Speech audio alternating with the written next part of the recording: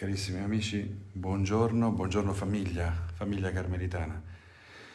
E buongiorno a Roberto, a Diana, ci arrivano eh, veramente tante persone, i saluti e i saluti a ciascuno di voi da, da Fano, da, da, Ceprano, quindi dalle Marche, dalla, dal Lazio, dalla parte eh, del, dove la nostra presenza è più a sud, diciamo, eh, il convento di Ceprano sotto Frosinone e ci sono anche i saluti da, ora da, da Romina, eh, da Pescara e, e, addirittura da Issam, Issam Rohanam, carissimo nostro giovane amico ora sposato, che ci manda i saluti da Israele. Mi faccio portavoce ecco, un po' dei vostri saluti.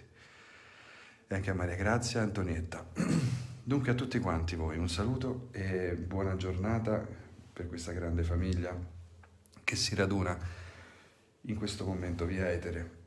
Oggi abbiamo un Vangelo, come sempre, di quelli meravigliosi. Ogni parola, la parola di Dio, quando la scopriamo, diventa per noi motivo di, di gaudio, forse anche di trepidazione, perché chissà cosa ci rivolgerà oggi eh, Gesù, quale parola entrerà nel nostro cuore, perché si tratta di una parola viva e, e, chi è che gli dà vita non è certo il sottoscritto né alcun predicatore per quanta fama e bravura possa avere. La parola di Dio è viva perché dentro abbiamo uno spirito vivo che, che la, la fa lievitare, le dà energia, le dà attualità, praticità. E allora ascoltiamo questo Vangelo iniziando nel nome del Padre, del Figlio e dello Spirito Santo. Amen. Dal Vangelo secondo Luca. In quel tempo diceva Gesù, a che cosa è simile il regno di Dio e a che cosa lo posso paragonare? È simile a un granello di senape che un uomo prese e gettò nel suo giardino. Crebbe, divenne un albero e gli uccelli del cielo vennero a fare il nido fra i suoi rami. E disse ancora, a che cosa posso paragonare il regno di Dio? È simile al lievito che una donna prese e mescolò in tre misure di farina finché non fu tutta lievitata. Parola del Signore. Lode a te, o oh Cristo.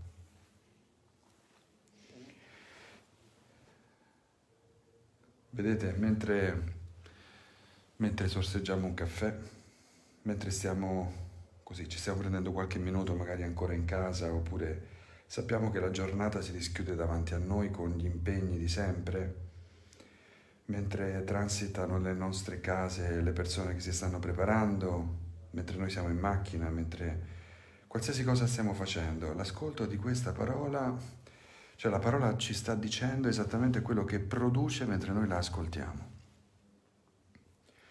ovvero si tratta di un seme seminato in profondità oppure di un lievito che in piccola quantità viene mescolato alla massa, alla farina.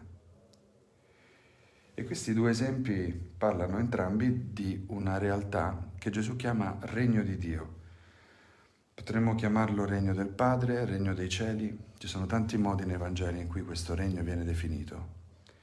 E la parola regno ci porta in un mondo un po' equivoco, perché un regno, i regni umani soprattutto, sono regni ben delimitati, sono delimitati anzi da alti muri, filo spinato, sono terre circoscritte che segnano, con confini che segnano uh, un interno ed un esterno. Spesso sono eh, difesi difesi con, da uomini con spade, lance, scudi. Sono difesi con le pistole, con i fucili. Sono circondati dalle mine anti-uomo, anticarro. Sono territori appunto che sono fortificati, la cui visibilità è, è nota.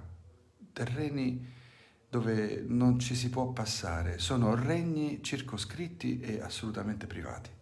Il regno di Dio è tutt'altra cosa. Viene descritto con un paragone che, questi due paragoni ascoltati, innanzitutto viene da dire non è violento. Non è violento perché come il lievito o come un seme, piccoli o in piccola quantità, sono come, passatemi il paragone ancora, un bambino in mezzo a una folla di adulti.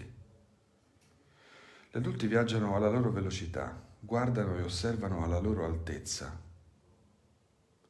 Assolutamente passa come non percepito un essere piccolino che ha meno voce e che non è all'altezza della situazione, del vocabolario degli adulti, dell'azione dei grandi, non ha una riconoscibilità. Ed è veramente strano che parlando di un regno che quindi i, i cui soldati evidentemente il cui re hanno caratteristiche anch'essi profondamente diverse rispetto a un regno umano, questo regno non viene riconosciuto, non ha una sua uh, presenzialità e non viene annoverato tra i regni umani. Che cos'è questo benedetto regno di Dio, regno del Padre? Si capisce dai commentatori e anche dal contesto in cui Gesù parla che il regno è una realtà che nasce dall'ascolto della parola di Dio, della buona notizia. Vi faccio un esempio.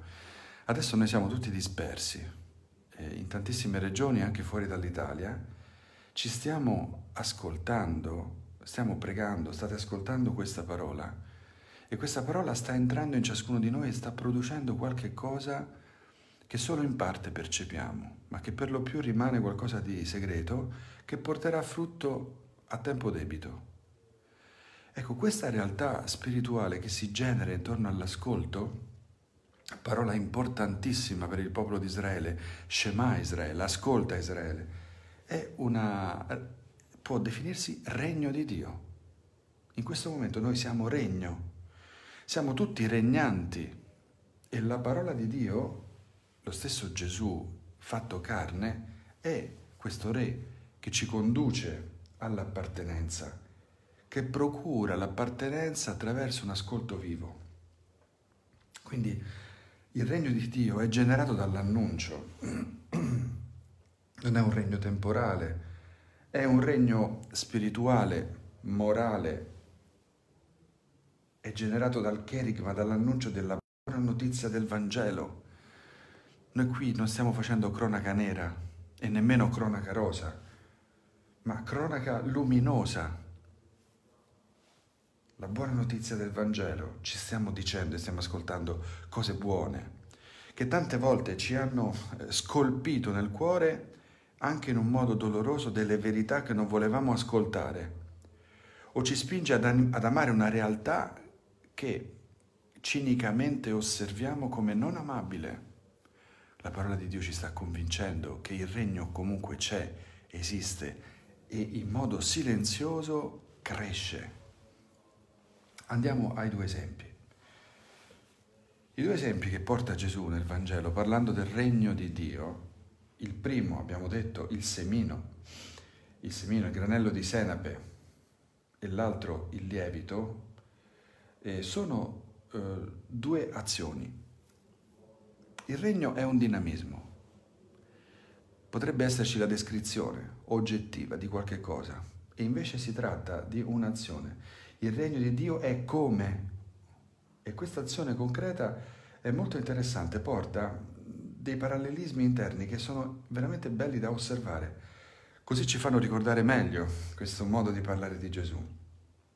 Il primo dinamismo è un uomo che prese e gettò. Il secondo è una donna che prese e mescolò. Notate, il regno è un'azione combinata un'azione combinata dell'uomo e di Dio. È una collaborazione, una collaborazione nella quale ciò che viene preso e maneggiato viene anche perso, viene anche abbandonato, il seme viene abbandonato nel terreno, il lievito viene abbandonato nella massa, affinché dopo l'azione dell'uomo collaborativa avvenga l'azione fondamentale che è misteriosa, silenziosa, nascosta, e prescinde dalla volontà dell'uomo ed è l'opera di Dio. due cose sono importanti in questo dinamismo che si va creando. Abbiamo detto qualcosa di nascosto e qualcosa di piccolo. Bene, la prima cosa è la piccolezza. Oggi è un grande richiamo, come in altri, altre parabole evangeliche di Gesù. La piccolezza vuol dire che certe cose, anzi le cose che contano, nascono piccole. La vita nasce piccola. I bambini nascono piccoli, gli animaletti, gli insetti, le piante. Tutto nasce piccolo, anzi oserei dire microscopico, ovvero qualcosa che per essere guardato ha bisogno di uno strumento preciso. Ha bisogno che lo sguardo si acuisca, come quando qualcuno di noi sposta gli occhiali per vedere meglio da vicino, o che ci si abbassi, ci si fletta, ci si faccia l'occhio a queste cose. La piccolezza, le realtà invisibili sono quindi lievito di quelle visibili e di quelle grandi. È come dire, ti sei alzato col piede giusto stamattina? Hai messo giù il piede giusto dal letto stamattina?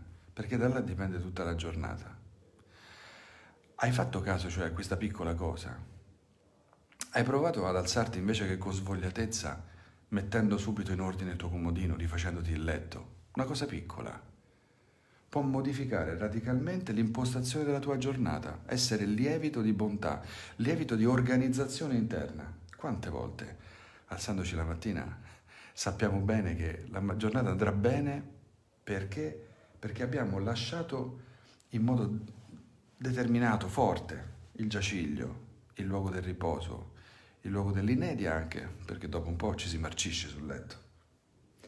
La piccolezza apre all'orizzonte trascendente che normalmente viene a mancare nell'uomo tecnico. Trascendenza, noi ci immaginiamo che sia un ascendere verso cose grosse, plenari. In realtà la trascendenza nasce da un occhio abituato, strutturato per guardare le cose piccole e microscopiche. Lì e trascendenza. Il secondo aspetto di questa parabola che mi colpisce per la vita odierna ed è una, un'abitudine che probabilmente parte di altri popoli, di altre mentalità, non certo della nostra europea, è la lentezza. La forza di un seme che diventa piantina è una cosa meravigliosa. Ci avrete fatto caso anche voi, e, oppure avrete fatto l'esperienza. Mi ricordo qui in convento un giorno, cioè non un giorno, per un lungo periodo ci siamo eh, accorti che si faceva fatica ad uscire dal cancello perché eh, il marciapiede era stato quasi completamente divelto dalle radici di, una, di un grosso pino. Abbiamo dovuto fare tutta un'operazione per riconsentire il transito delle persone senza che succedessero danni o incidenti. Ma quella radice col tempo ha lentamente divelto il duro asfalto, come anche una piantina che nasce e cresce in mezzo alle pietre può svellerle, spostarle, può crepare la roccia e tutto lentamente, slow, molto lentamente senza che neanche tu te ne accorga, un giorno la pietra è spaccata.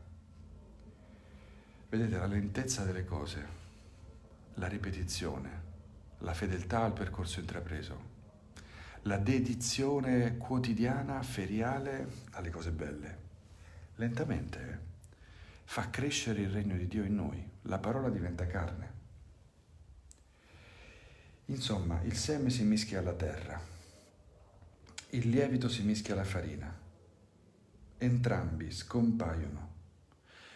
Entrambi scompaiono e qui c'è la fatica dell'appartenenza al regno, la fatica di quello di cui abbiamo parlato. Entrambi scompaiono divorati, apparentemente soffocati dalle masse inerti. Ditemi voi se durante le nostre giornate certe volte non è il soffocamento, la sensazione che ci produce la, la routine, dell'incontro con certe persone, la difficoltà dell'impatto, la difficoltà di sopportazione, di alcuni problemi, di alcuni temi che risultano, sembrano irrisolvibili, nulla mai cambierà. Sembra diventare un po' il, eh, il refran che ci accompagna nelle nostre giornate. Il futuro però porta sempre con sé una sentenza di vita. Anche la natura ce ne parla. E anche la storia de- dei martiri, della Chiesa del mondo ce ne parla. I padri della Chiesa usavano dire che il sangue dei martiri è seme di nuovi cristiani. Dunque, se c'è qualcuno che decide consapevolmente di consegnarsi al Dio della vita, la sua morte diventa un martirio, cioè una testimonianza. La sua morte non sarà inutile, tu non diventerai concime se ti metti nelle mani di Dio, perché Dio non ti lascia cadere a terra fuori dalle sue mani, ma diventerai martire, ovvero testimone e allora sarai seme di nuova vita, in un ciclo amplificato, moltiplicato. Quindi in realtà queste cose piccole, vedete, delle quali ci nutriamo, hanno il potere di trasformare tutto a livello macroscopico, perché contengono la vita, il seme contiene la vita, il lievito contiene la vita in modo embrionale. E in modo embrionale non vuol dire solamente in modo invisibile, ma in modo totale vuol dire anche.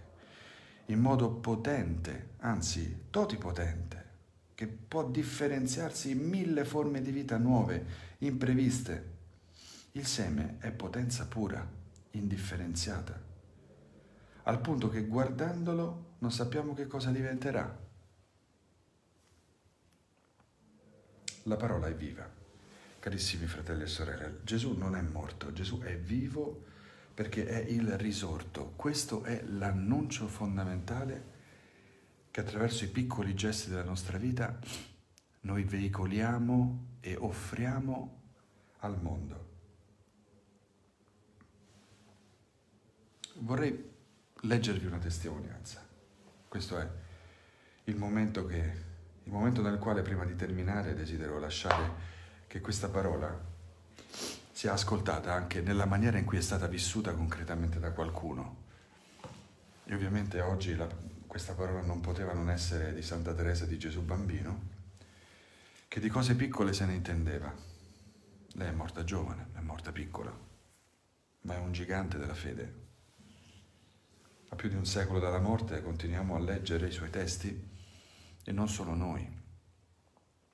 La sua vita, il suo crescere lentamente come il regno di Dio attraverso la parola ascoltata e vissuta è diventata seme di nuove vite, forme di vita religiosa, congregazioni che si ispirano profondamente alla sua testimonianza. Eppure quando scrive sembra così ingenua, ma è ingenua come le domande dei bambini, vero? Quelle che ti crocifiggono. che insomma, me ne sono capitate alcune proprio ultimamente. Ecco qua, leggo allora a voi dal manoscritto C di Santa Teresa di Gesù Bambino un passaggio famoso, ma che vi farà piacere riascoltare. Per eh, gli addetti ai lavori, chi ha i testi, il numero 271 dei manoscritti. Lei lo sa, madre. Ho sempre desiderato d'essere una santa, ma, ahimè, ho sempre constatato, quando mi sono confrontata con i santi, che tra loro e me c'è la stessa differenza che esiste tra una montagna la cui vetta si perde nei cieli e il granello di sabbia oscuro calpestato dai piedi dei passanti. Invece di scoraggiarmi, mi sono detta, il buon Dio non potrebbe ispirare desideri irrealizzabili. Quindi, nonostante la mia piccolezza, posso aspirare alla santità. Farmi diversa da quel che sono, più grande, mi è impossibile, mi devo sopportare per quello che sono, con tutte le mie imperfezioni. Ma voglio cercare il modo di andare in cielo, per una piccola via, bella, dritta, molto corta, una piccola via, tutta nuova. Siamo in un secolo di invenzioni. Oggi non vale più la pena di salire i gradini di una scala. Nelle case dei ricchi un ascensore la sostituisce vantaggiosamente. Vorrei trovare anch'io un ascensore per innalzarmi fino a Gesù, perché sono troppo piccola per salire la dura scala della perfezione. Allora ho cercato nei libri santi l'indicazione dell'ascensore, oggetto del mio desiderio, e ho letto queste parole uscite dalla bocca della sapienza eterna. Se qualcuno è molto piccolo, venga a me. Così sono arrivata a intuire che avevo trovato ciò che cercavo. E volendo sapere, oh mio Dio, ciò che faresti al molto piccolo che rispondesse alla tua chiamata, ho continuato le mie ricerche ed ecco quello che ho trovato. Come una madre accarezza il figlio, così io vi consolerò. Vi porterò in braccio e vi cullerò sulle mie ginocchia. Ah, mai parole più tenere, più melodiose hanno rallegrato la mia anima. L'ascensore che mi deve innalzare fino al cielo sono le tue braccia, o oh Gesù. Per questo non ho bisogno di crescere, anzi, bisogna che io resti piccola, che lo diventi sempre di più.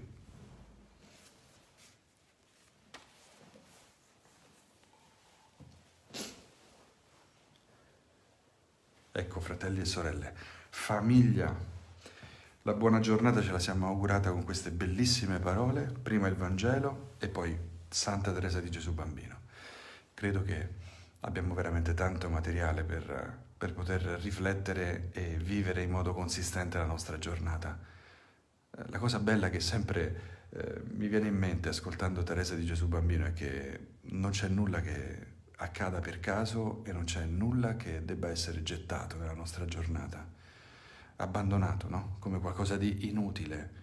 Alla fine tutti i pezzi ritornano, tutti fanno parte del puzzle, non ce n'è uno che sia escluso come quando apri una scatola e finisci il puzzle e dici, magari, chissà, magari c'è qualche pezzo doppio. No, non c'è errore.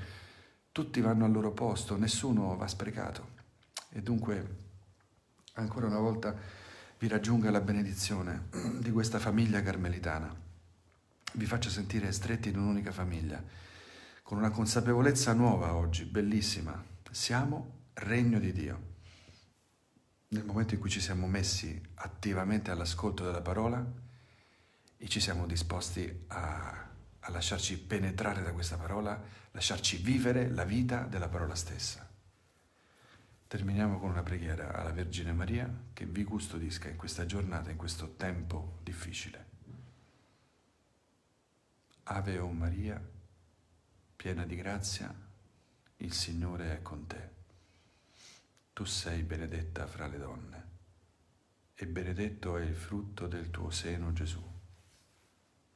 Santa Maria, Madre di Dio, prega per noi peccatori, adesso e nell'ora della nostra morte.